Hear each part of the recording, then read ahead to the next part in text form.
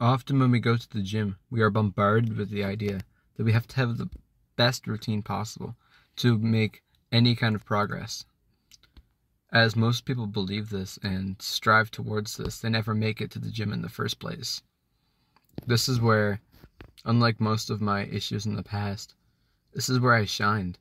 When I went into the gym, I didn't freak out about not having a routine. My goal was to go to the gym, and that's how it should be. When you are starting in the gym, your goal should be to walk inside and do something.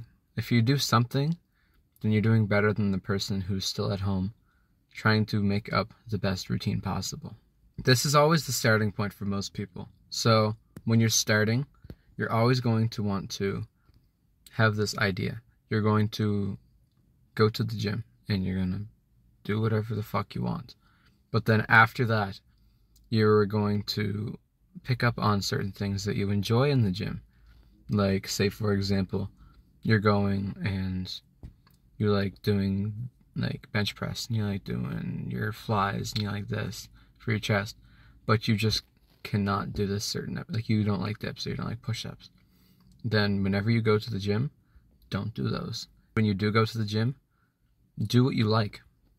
This is the point in our lives where we're supposed to feel free from anyone else where all that matters is that it's us and the bar or whatever you may be doing. So find what you like and do it. And make a routine out of what you like.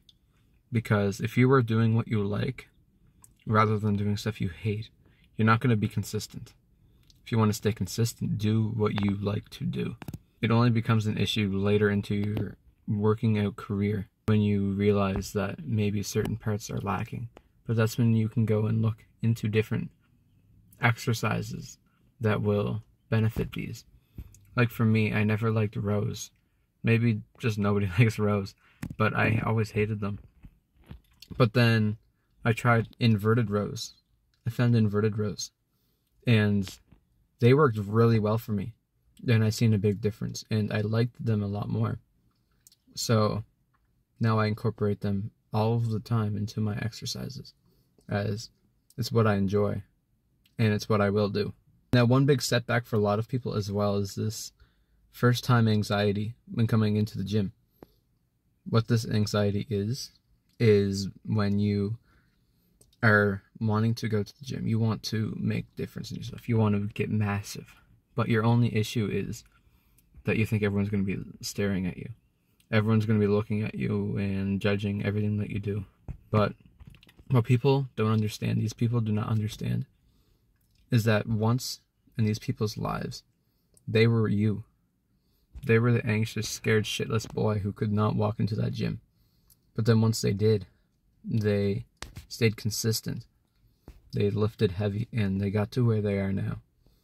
It's almost like a common courtesy for everybody that goes to the gym to respect the people that are going there for the first time because they know what it's like.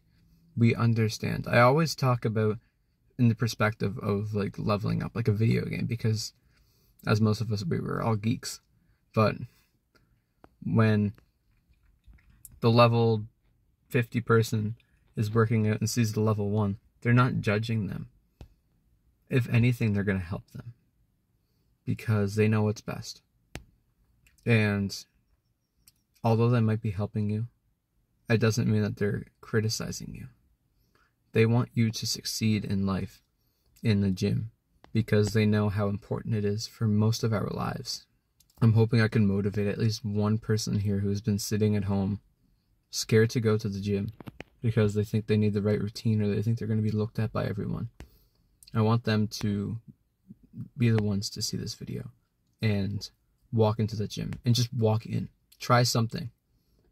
Try something and you will notice big difference recently I've been taking my brother to the gym. And his first time I practically had to drag him, as most of us were when we started.